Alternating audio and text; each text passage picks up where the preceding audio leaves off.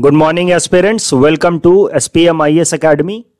Today, we will analyze the Assam Tribune newspaper of 26th December 2019.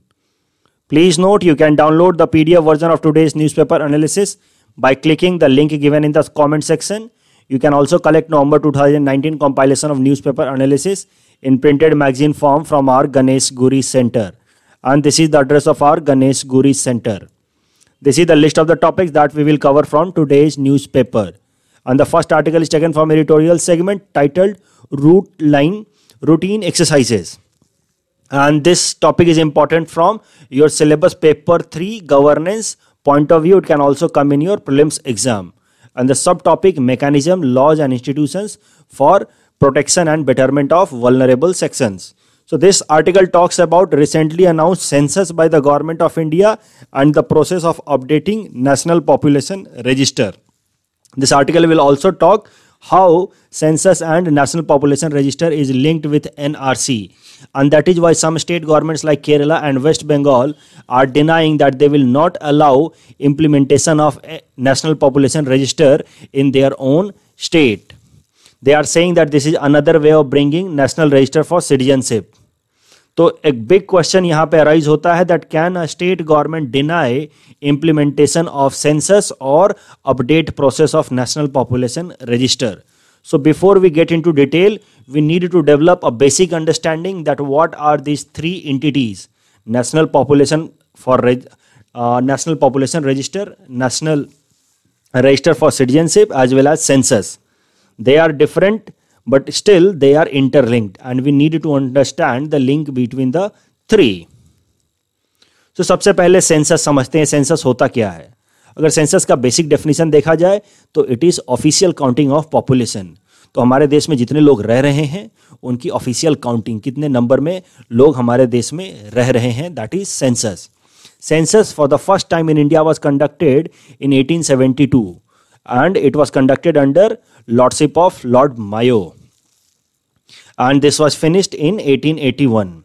After independence, census of India is conducted every 10 year and it is conducted according to Census Act of 1948. तो हर 10 सालों पे अब हमारे देश में census conduct कराया जाता है जो पहला सेंसस कराया गया था आज़ादी के बाद दैट वाज कंडक्टेड इन 1951 और उसके बाद से हर 10 सालों पे कराया जा रहा है that is why the last census was conducted in 2011 and next census will be conducted in 2021 and it is conducted by Registrar General and Census Commissioner of India, overall under Ministry of Home Affairs, Government of India. So the last census was of course conducted in 2011 and next will be conducted in 2021 and 2021 will be overall India's 16th national census. अब जरा सा census कराने का तरीका या process समझते हैं overall census is conducted in two phases जो पहला फ़ेज़ होता है, जो अगले साल अप्रैल में स्टार्ट होगा, उसका नाम है house listing operations house listing operations में सबसे पहले नंबर ऑफ़ रजिस्टर्ड या सेंसस हाउसेस गिने जाते हैं या हाउस होल्ड्स गिने जाते हैं। सीधे सीधे लोगों की गिनती नहीं की जाती। यहाँ पे नंबर ऑफ़ रजिस्टर्ड हाउसेस गिने जाएँगे अंडर गवर्नमेंट ऑफ़ इंडिया वहाँ पे उन हाउसेस से जो नंबर नाम डेटाज लिए जाएँगे कि वो हाउसेस कौन से लोकेशन में हैं और हेड ऑफ़ द हाउस कौन है और हेड ऑफ़ द हाउस की मदद से कुछ इन्फॉर्मेशंस और कलेक्ट किए जाएँगे, जैसे कि उसके फैमिली में कितने मेंबर्स हैं, उसके घर में कितने कमरे हैं, इस तरह की कुछ बेसिक चीज़ें रिगार्डिंग हाउस हाउसेज वो कलेक्ट किए जाएँगे from the head of the house ये पहला फ़ेज़ होगा। और दूसरा फ़ेज़ होगा, उसको हम कहते हैं पॉपुलेशन एन्यूमरेशन तो ये हाउस इनलिस्टिंग के बाद कि कितने हाउस होल्ड्स हैं, कितने परिवार हैं हमारे देश में, उसके बाद इंडिविजुअल्स की काउंटिंग शुरू होती है। In second phase that is known as population enumeration इसमें हर एक इंडिविजुअल से रिलेटेड इन्फॉर्मेशन निकाले जाते हैं, जैसे कि नाम क्या है, क्या जेंडर है रिलीजन क्या है नेशनलिटी क्या है। लैंग्वेज क्या है? तो नेशनलिटी का ज़रा ध्यान दें। नेशनलिटी का मतलब ये है कि आपको ये बात अब समझ आ गई होगी कि सिर्फ़ इंडियंस की काउंटिंग नहीं की जाती। इस टाइम में ये भी काउंटिंग की जाती है कि क्या कोई फॉरेनर हमारे देश में रह रहा है, उसकी भी काउंटिंग की जाती है। That is why nationality is also asked तो हो सकता है कि कोई एक दूसरा आदमी जो मान लो म्यांमार से आकर के इंडिया में किसी पर्पज़ से बिज़नेस पर्पज़ से रह रहा हो काफ़ी समय से, उसको भी सेंसस में काउंट करके बताया जाएगा कि इतने फॉरेनर्स हमारे देश में रह रहे हैं। अब हमें समझना है कि ये एनआरसी क्या है? NRC it stands for National Register of Citizen, and this list was first time prepared in 1951 तो पहली बार जब हमारा सेंसस कंडक्ट कराया गया तो उसके हिसाब से पता किया गया कि हमारे देश में कौन कौन लोग सिटीजन हैं, और उस लोगों का नाम एक अलग लिस्ट में डाला गया, जिसको बोला गया एनआरसी आपको अभी तक पता चल गया होगा कि जो सेंसस है that includes name of both citizen as well as foreigners staying in India so so, उसके बाद हमने एक अलग लिस्ट बनाई जिसका नाम रखा NRC national register of citizen जिसमें भारत के जो सिटीजन हैं उनकी नाम स्पेशल तरीके से रजिस्टर की गई। और हर एक स्टेट के लिए अलग अलग एनआरसी बनाया गया लेकिन उसके बाद से आने वाले सेंसस में जैसे 1961 या 71 वाले सेंसस में एनआरसी को वापस से अपडेट नहीं किया गया। और एनआरसी को बस उसके बाद सिर्फ़ एक स्टेट में अपडेट किया गया है and that is state of Assam and this update process was completed in August two thousand nineteen तो अब समझते हैं एनपीआर नेशनल पॉपुलेशन रजिस्टर ये क्या चीज़ होती है? National population register NPR it is list of residents of India and minded there is difference between citizen and residents resident मतलब जो इंडिया में रह रहे हैं। Those who are living in India for past six months और those who intend to live in India for more than six months उनका नाम NPR में रखा जाएगा, नेशनल पॉपुलेशन रजिस्टर में रखा जाएगा। तो सेंसस हर 10 साल पे कराया जाता है according to census act of 1948 पहला सेंसस आज़ादी के बाद कराया गया 1951 में, उसके बाद से हर 10 साल पे कराया जा रहा है, और लास्ट सेंसस 2011 में कराया गया था। और दो फेजेज में या दो स्टेप्स में होता है, पहले हाउस एनलिस्टिंग करते हैं, और उसके बाद पॉपुलेशन एन्यूमरेशन करते हैं। पॉपुलेशन में, यानी कि इंडिविजुअल्स का उनसे रिलेटेड इंफॉर्मेशन कलेक्ट करते हैं। लेकिन 2003 में भारत सरकार ने सिटीजनशिप एक्ट में एक अमेंडमेंट किया। जो हमारा सिटीजनशिप एक्ट ऑफ़ 1955 है, उसको अमेंड किया गया था 2003 में भी एक बार, और उसको अमेंड करके एक नया रूल लाया गया। उस रूल का नाम है citizenship registration of citizens and issuance of national identity card rules 2003 आप सीधे शब्दों में सिटीजनशिप रूल्स ऑफ़ 2003 भी इसको लिख सकते हैं एग्ज़ाम में। और इस नए रूल के हिसाब से सेंसस कंडक्ट कराने के बाद भारत सरकार हर बार एक अलग दो अलग डेटा बनाएगी, दो अलग लिस्ट बनाएगी। एक होगा नेशनल पॉपुलेशन रजिस्टर मतलब कौन कौन से लोग हमारे देश में अभी रेजिडेंट की तरह रह रहे हैं that will be NPR and second will be NRC national register for citizens तो कौन कौन से लोग हमारे देश के सिटीजन हैं, उसकी लिस्ट हर सेंसस के बाद अपडेट की जाएगी।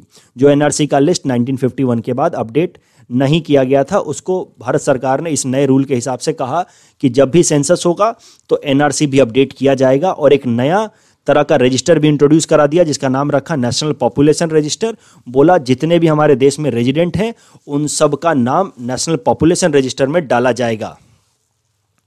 और एक नया प्रोविज़न इसके साथ और लेकर के आए। बोले, जो लोग भी इंडिया के सिटीजन कहे जाएँगे अंडर एनआरसी उन सबको एक सेपरेट आइडेंटिटी कार्ड दी जाएगी, जिसका नाम होगा smart card and this will be known as smart card because it will contain all necessary details like PAN driving licence bank account सब कुछ. तो उसके बाद एक इंसान को अलग अलग कार्ड्स रखने की ज़रूरत नहीं है। वही कार्ड आपके लिए driving licence passport PAN bank account सबका काम कर देगा। ये कॉन्सेप्ट था, जो सिटीजनशिप रूल्स 2003 के बाद लाया गया कि सेंसस तो कराएँगे, कितने लोग इंडिया में रह रहे हैं, उनको हम लोग काउंट करेंगे, उसके बाद उनकी एक लिस्ट अलग से मेंटेन करेंगे एनपीआर में सारे डिटेल्स के साथ, नाम रिलीजन जेंडर और उसके अलावा इंडियन सिटीजन्स की एक अलग से लिस्ट बनाएँगे। तो एक बार इस फिगर की मदद से समझते हैं। एक बार सेंसस करा दिया तो हमारे देश में मान लो इतने सारे लोग रह रहे हैं, सबका नाम एनपीआर लिस्ट में आ जाएगा, नेशनल पॉपुलेशन रजिस्टर में आ जाएगा। उसमें इंडिया के सिटीजन भी हो सकते हैं, कुछ फॉरेनर्स भी हो सकते हैं, जो इंडिया में छह महीने से ज़्यादा से रह रहे हैं। उसके बाद हो सकता है उसमें से सारे लोग इंडियन नेशनल ना हो, बस इतने लोग इंडियन नेशनल हो, कुछ फॉरेनर्स भी हों, जैसे ये लोग मान लो फॉरेनर्स हैं। तो ये जो नेशनल्स होंगे, इंडिया के सिटीजन्स होंगे इनके लिए एक अलग लिस्ट बनाई जाएगी, जिसका नाम होगा एनआरसी लिस्ट जो 1951 के बाद अपडेट नहीं की गई थी। भारत सरकार ने सिटीजनशिप रूल्स 2003 के हिसाब से कहा कि हर सेंसस के बाद एनआरसी लिस्ट पूरे इंडिया के हर एक स्टेट के लिए अपडेट की जाएगी। और एनआरसी लिस्ट अपडेट करने के बाद जो इंडिया के सिटीजन्स होंगे, उन सबको स्मार्ट कार्ड दिया जाएगा, ताकि उसकी मदद से उनको गवर्नमेंट सर्विसेज़ दिए जा सके।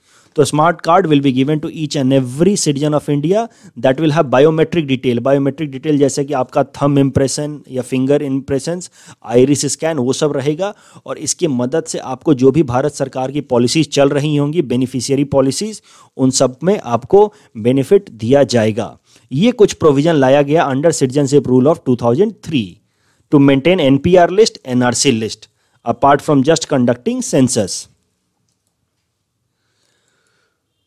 तो सिटीजनशिप एक्ट 2003 को अमेंड किया गया और कुछ नए प्रोविज़न डाल दिए गए कि हर बार अब नेशनल पॉपुलेशन रजिस्टर बनाया जाएगा। एनआरसी जो हमारे देश के सिटीजन हैं, उनकी लिस्ट अपडेट की जाएगी और सिटीजन्स को स्मार्ट कार्ड दिया जाएगा।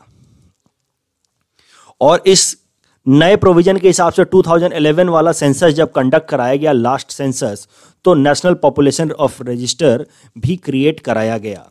लेकिन उस टाइम में एनआरसी को अपडेट नहीं किया गया। अलग अलग स्टेट में जो सिटीजन्स हैं, उनकी जो लिस्ट है, उसको अपडेट नहीं किया गया according to the citizenship rule of 2003 और ना ही लोगों को सिटीजन्स को स्मार्ट कार्ड दिए गए। द रीजन बीइंग कि 2011 सेंसस के पहले पहले ही भारत सरकार जो अब ये जो नए सिटीजनशिप रूल्स थे, वो लेकर के आई थी NDA government under prime ministership of late Atal Bihari Vajpayee ji. लेकिन उसके बाद 2004 में सरकार बदल गई और जो नई सरकार आई, मनमोहन सिंह जी की अंडर अंडर यूपीए उसने स्मार्ट कार्ड के जगह पे एक नया कॉन्सेप्ट इंट्रोड्यूस कर दिया जिसका नाम रखा आधार कार्ड और इस कारण से जब स्मार्ट कार्ड इंट्रोड्यूस के जगह पे आधार कार्ड ला दिया तो अब जब स्मार्ट कार्ड की ज़रूरत नहीं रही तो भारत सरकार ने एनआरसी भी अपडेट नहीं किया इन 2011 सेंसस उन्होंने सेंसस कराया और नेशनल पॉपुलेशन रजिस्टर बस मेंटेन किया, लेकिन एनआरसी और स्मार्ट कार्ड का प्रोविज़न नहीं लेकर के आए because smart card was concept of smart card was replaced by Aadhaar card तो सब कुछ वैसा ही हुआ 2011 सेंसस में जैसा बोला गया था, पहले सेंसस कंडक्ट कराया गया, गिना गया कि कौन कौन लोग हमारे देश में सिटीजन हैं। उसके बाद नेशनल पॉपुलेशन लिस्ट बनाई गई and this step was completed in 2011 census and this step was mandated according to citizenship rule of 2003 लेकिन ये जो अगला स्टेप भी बताया गया था इन सिटीजनशिप रूल ऑफ़ 2003 की सिटीजन्स की अलग से लिस्ट अपडेट की जाएगी, जिसको एनआरसी लिस्ट कहेंगे, और सिटीजन को स्मार्ट कार्ड दिया जाएगा विथ हैविंग बायोमेट्रिक डिटेल्स वो नहीं किया गया।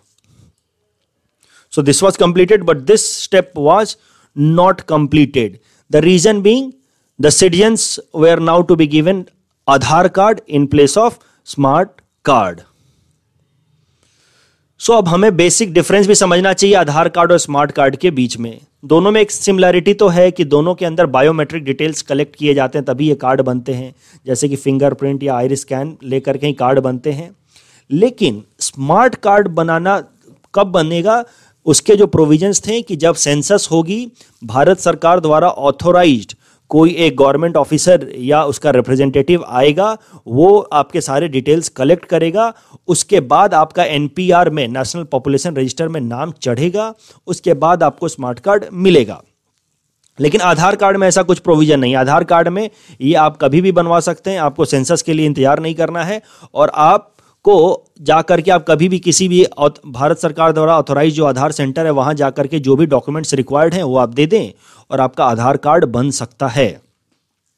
तो so, दोनों का जो बेसिक डिफरेंस है वो ये है smart card was according to the citizenship act and specially citizenship rule of 2003 and it is proof of being a citizen and it it was to contain all important data like bank account, pan, driving license. So it could avoid the problem of many identities. Problem क्या है? हमारे देश में identification की बहुत problem हो जाती है. बैंक अकाउंट में कुछ अलग नाम होता है. पैन में कुछ अलग नाम होता है. ड्राइविंग लाइसेंस में कुछ अलग नाम होता है.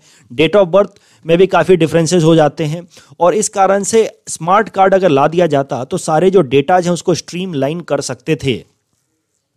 और ये जो स्मार्ट कार्ड है that was to be prepared after census only after verification by authorise government officer लेकिन ये भारत सरकार ने किया नहीं, जो नई यूपीए सरकार आई, वो स्मार्ट कार्ड के प्रोविज़न के जगह पे वो लेकर के आई आधार कार्ड का सिस्टम वो लेकर के आई एक नया एक्ट जिसका नाम रखा उन्होंने U I D A I act और आइडेंटिफिकेशन अंडर आधार एक्ट और इस जो आधार कार्ड बनता है that is identity of residentship it is not identity of citizenship तो वो बताता है कि आप कौन से एरिया में रहते हैं, बस उसका वो प्रूफ है।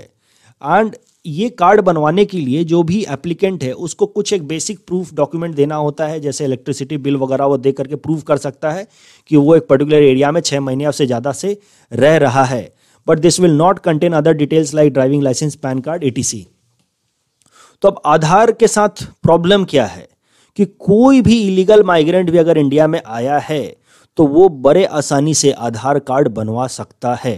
क्योंकि इसमें जो वेरीफाइबिलिटी का प्रोसेस है, वो ज़्यादा स्ट्रिंजेंट नहीं है।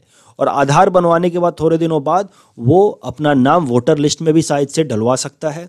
तो इस कारण से ये बेसिक डिफरेंस है आधार में और स्मार्ट कार्ड में। स्मार्ट कार्ड में भारत सरकार जब सेंसस कराती एनपीआर लिस्ट बनाती, भारत सरकार के जो ऑथोराइज रिप्रेजेंटेटिव्स हैं, वो काउंटिंग करते, तभी आपका स्मार्ट कार्ड बनता, लेकिन आधार कार्ड कोई भी बनवा सकता है। ये एक बेसिक डिफरेंस आ गया। तो अब बेस लाइन क्या है? वो समझते हैं। इस पूरे आर्टिकल में जो कंडेंसेट है कंक्लूजन है, वो क्या है? जो भारत सरकार ने परसों फैसला लिया कि वो सेंसस के साथ साथ नेशनल पॉपुलेशन रजिस्टर भी अपडेट करेंगे। और दोनों के लिए अलग अलग लगभग फंड रिलीज़ करने की बात की है। लगभग साढ़े आठ हज़ार crore will be release for census while about four thousand crore will be release for NPR that is not a new और arbitrary decision this is the base line this decision of updating N P R is according to citizenship rule of two thousand three the second point N P R is not being created और updated for the first time it was already done in two thousand eleven इसलिए जो बहुत सारी political parties या state government blame कर रहे हैं भारत सरकार को कि ये जो एनपीआर का नया प्रोविज़न है that is another way of updating NRC in India and that is another scheme of government of India to keep Muslim community out of new citizenship list ये एक फॉल्स प्रोपोगेंडा है। इसके पीछे कोई baseline नहीं है। NPR और NRC के provisions already citizenship rule of 2003 में है और भारत सरकार उसी हिसाब से काम कर रही है। इसीलिए इस एडिटोरियल का टाइटल है रूटीन एक्सरसाइजेज और इसलिए जो केरला सरकार या वेस्ट बंगाल सरकार ने फैसला लिया है that they will keep out of NPR that is not justifiable साथ ही साथ हमें यह भी क्वेश्चन देखना होगा that can states deny to be part of census और NPR so the answer is no Census is a central subject according to Schedule 7 of the Indian Constitution. And also according to the Census Act of 1948, the state government should cooperate in implementing census process. So the state government cannot legally deny to be the part of NPR or census. तो केरला और waste Bengal सरकार ने कह तो दिया है लेकिन ये अभी भी देखना होगा कि वो कैसे डिनाई कर पाते हैं from becoming part of new census and NPR process इससे रिलेटेड कुछ क्वेश्चन भी आ सकते हैं। What do you mean by national population of register and what is its significance आपको इंट्रोडक्शन में इस तरह का कुछ लिखना होगा that census is conducted every ten year in India according to census act of 1948 and citizenship rule of 2003 made important mandatory for maintaining NPR that is national population of register, on the basis of census conducted. And the first NPR was created in 2011 census. Significance of NPR, जो population register होगा, उससे क्या फ़ायदे हो सकते हैं? वो भी हमें समझना चाहिए। इस तरह के सवाल भी पूछे जा सकते हैं कि सिटीजनशिप रूल में आखिर नेशनल पॉपुलेशन रजिस्टर का प्रोविज़न क्यों लाया गया? तो उसका एक फ़ायदा ये होगा कि एटलीस्ट भारत सरकार को पता चल पाएगा इट कैन एस्टिमेट कि कितने लोग देश में रह रहे हैं। उससे यह भी पता चल पाएगा कि कितने इंडियंस हैं, कितने आउटसाइडर्स हैं और उससे देश की सिक्योरिटी को मेंटेन करने में मदद मिलेगी। At least we will know how many foreigners are staying in India उसके अलावा it will help in streamlining the data कि आपको पता है कि अलग अलग जगहों पे अलग अलग जैसे कि ड्राइविंग लाइसेंस पे, आधार कार्ड में आपके टेंथ के सर्टिफिकेट में बहुत बार नाम के वेरिएशन हो जाते हैं डेट ऑफ़ बर्थ के वेरिएशन हो जाते हैं that leads to unnecessary confusion in providing government services तो एक बार अगर स्मार्ट कार्ड बन जाता on the basis of N P R then it could help in streamlining data and help in smooth provisioning of government goods and services the next article is taken from international segment will fight China with power of truth. देखते हैं, ये कहा है दलाई लामा ने और उन्होंने किस context में कहा इसको समझते हैं।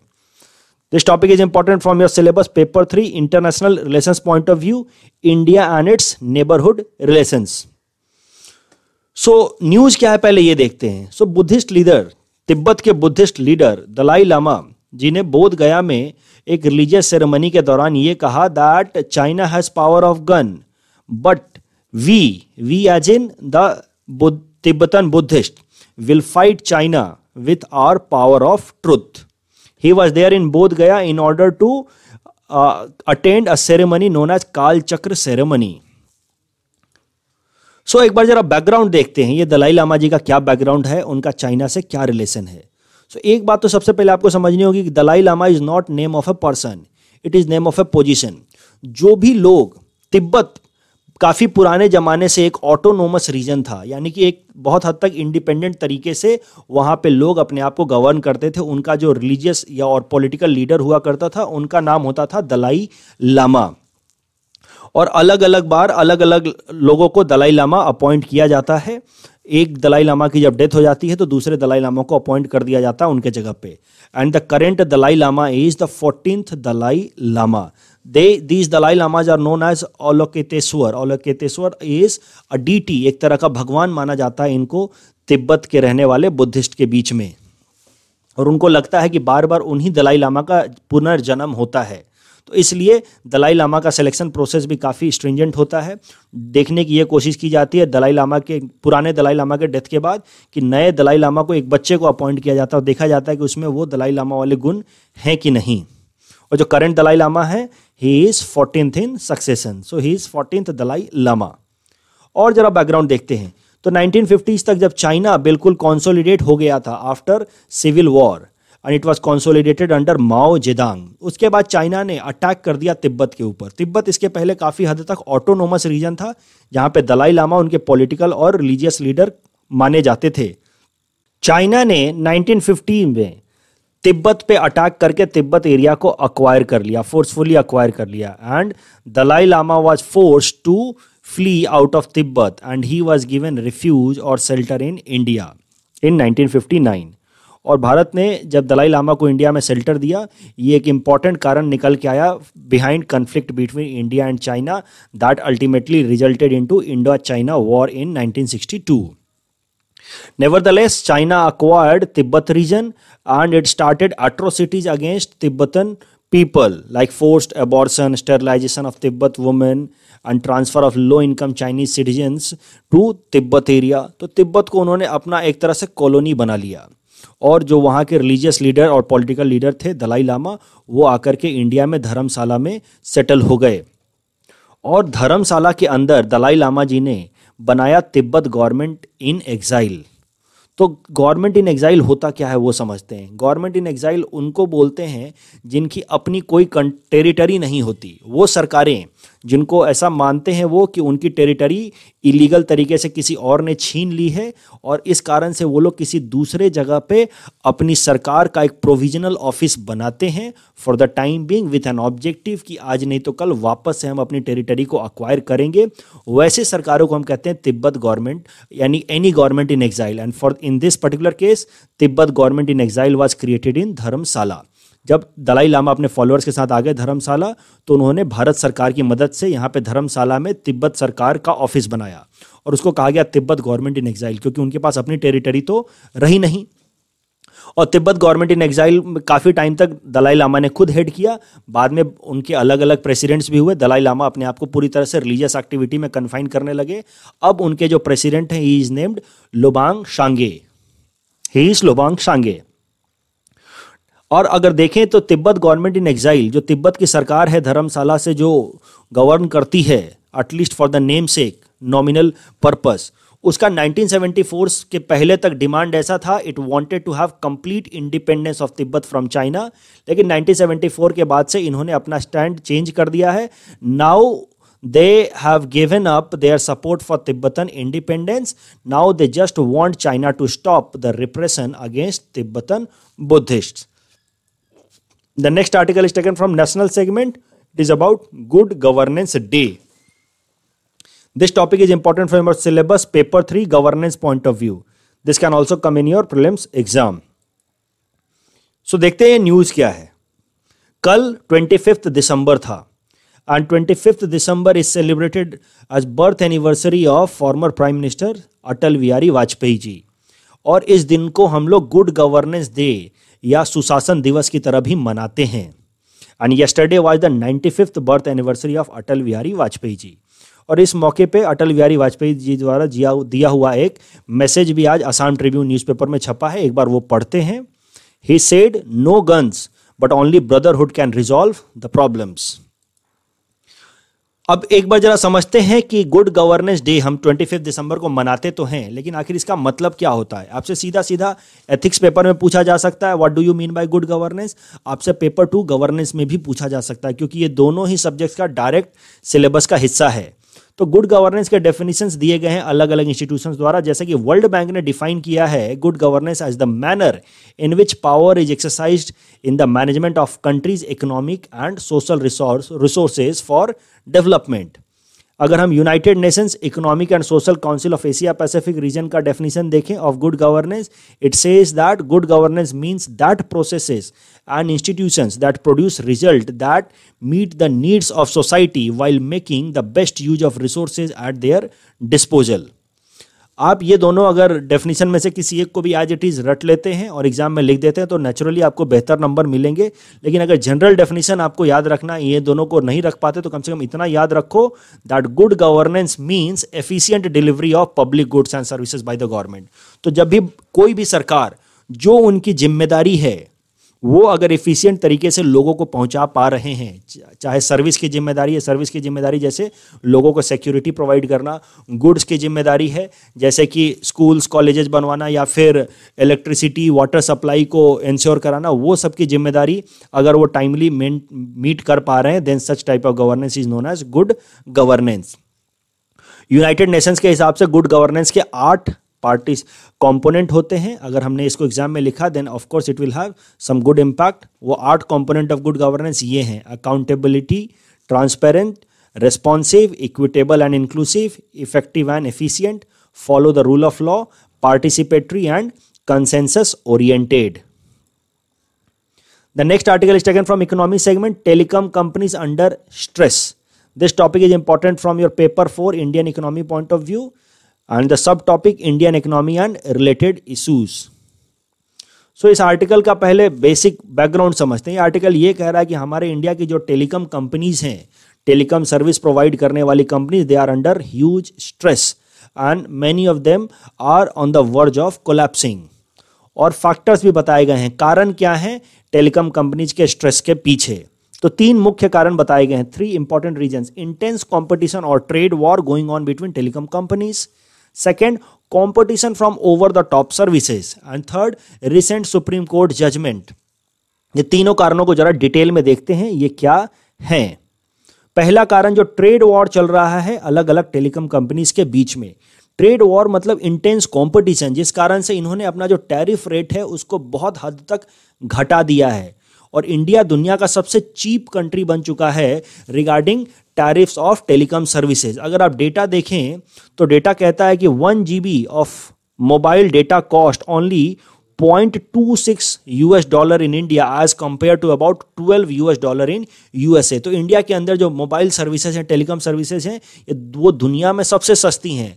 The reason being trade war going on between telecom service providers और जियो के एंट्री के बाद, Jio enter into the telecom service market in 2016 उसके बाद से तो ये प्राइसेस और भी नीचे गए हैं because of predatory pricing and deep discounting methods adopted by Jio.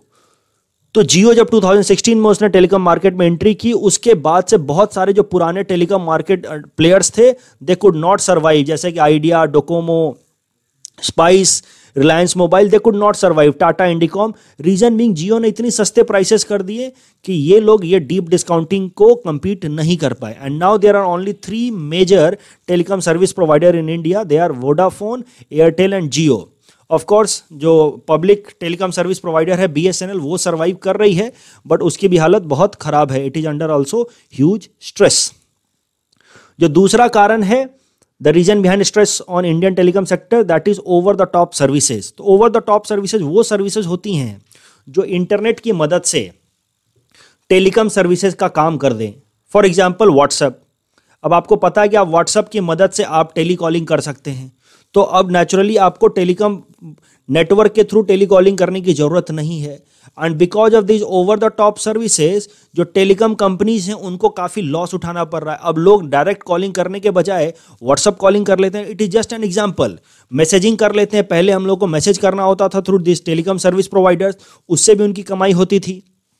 तो अब मैसेजिंग की तो कमाई बिल्कुल बंद हो गई है और टेलीकॉलिंग भी बहुत हद तक लोग ओवर द टॉप सर्विसेज़ से कर लेते हैं। And that has led to reduction in revenue of telecom companies और अब देखते हैं जो हाल फ़िलहाल में सबसे बड़ा स्ट्रेस का कारण बना हुआ है टेलीकॉम सेक्टर के लिए।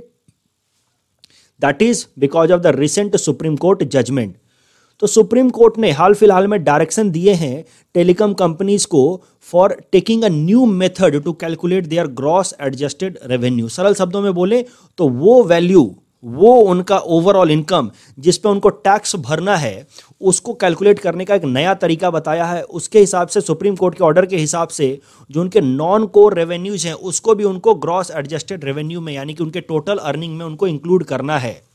और इस कारण से जो टोटल टैक्स बनता है इन टेलीकॉम कंपनीज़ पे, वो काफ़ी हद तक बढ़ जाता है। And this new method of calculating their gross adjusted revenue will lead to additional tax burden of about rupees 1 lakh 47000 crore on these telecom companies. और इतना पैसा अभी वो टैक्स के रूप में देने को अफोर्ड नहीं कर सकते।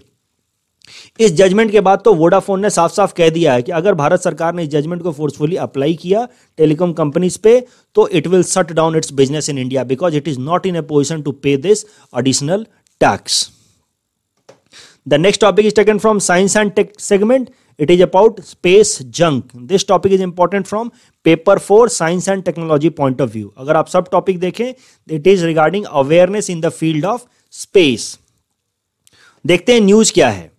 न्यूज़ ये कहता है कि चाइना के कुछ रिसर्चर्स ने एक नई टेक्नोलॉजी डेवलप की है लेजर बेस्ड टेक्नोलॉजी जिसकी मदद से स्पेस के अंदर स्पेस जंक या स्पेस डेबरिस को आराम से लोकेट किया जा सकता है। और उनको डिस्ट्रॉय भी किया जा सकता है। तो समझते हैं स्पेस जंक होता क्या स्पेस जंक और space debris is a man made defunct object in the space तो हमने कोई मान लो सैटेलाइट भेजा स्पेस में, कोई अपना रॉकेट भेजा, कोई स्पेस क्राफ्ट भेजा, उसका कोई ब्रोकन पार्ट रह गया स्पेस में। और अब वो वहीं रह जाता है। डिफंक्ट ऑब्जेक्ट जो अब स्पेस में रह जाता है, जिसको अब हमने डिस्कार्ड कर दिया यूज़ करना, लेकिन वो स्पेस में इस तरह से डेब्रिस की तरह या कचरे की तरह फैला हुआ है। सरल शब्दों में बोलें तो स्पेस डेब्रिस और स्पेस जंक इज़ कचरा इन द स्पेस और इससे जो प्रॉब्लम क्या होती है वो भी समझते हैं। Challenges due to space debris it leads to destroying of space craft and rocket sent in the space तो बहुत बार जो हम नया रॉकेट या स्पेस क्राफ्ट भेजते हैं स्पेस में, उनको भी ये खराब कर देते हैं space debris and that leads to unnecessary increase in the cost of space mission तो स्पेस डेबरीज से बचाने के लिए हम लोग को काफ़ी और प्रिसाइज तरीके से अपने रॉकेट्स को भेजना पड़ता है, अपने मिशन को भेजना पड़ता है। इस कारण से स्पेस मिशन का खर्चा बहुत बढ़ जाता है। अगर इन स्पेस डेबरीज को टारगेट कर किया जा सके स्पॉट किया जा सके और उनको डिस्ट्रॉय कर दिया जा सके, जैसा कि चाइना ने एक नई टेक्नोलॉजी अभी बनाई है तो उससे हमारे स्पेस मिशन के खर्चे बहुत कम हो जाएँगे। Let us cover some prelims related facts that came in the newspaper. Toklai Research Institute has headquarter in Jorhat and it was established 106 years ago for research in the field of tea. A tunnel connecting Rohtang Pass and Himachal Pradesh has been named Atal Vihari Vajpayee Tunnel. Colors of Mountain book has been written by Day Chan. And Typhoon Fanphone hit Philippines on Christmas day. That's all from our side today. Thanks for watching.